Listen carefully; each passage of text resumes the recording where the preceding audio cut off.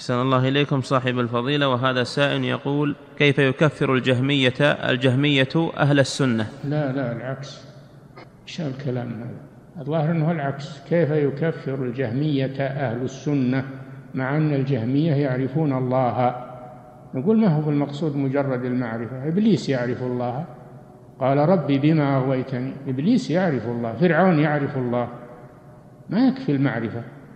الإيمان قول باللسان واعتقاد بالقلب وعمل بالجوارح يزيد بالطاعة وينقص بالمعصية. هذا هو الإيمان. نعم.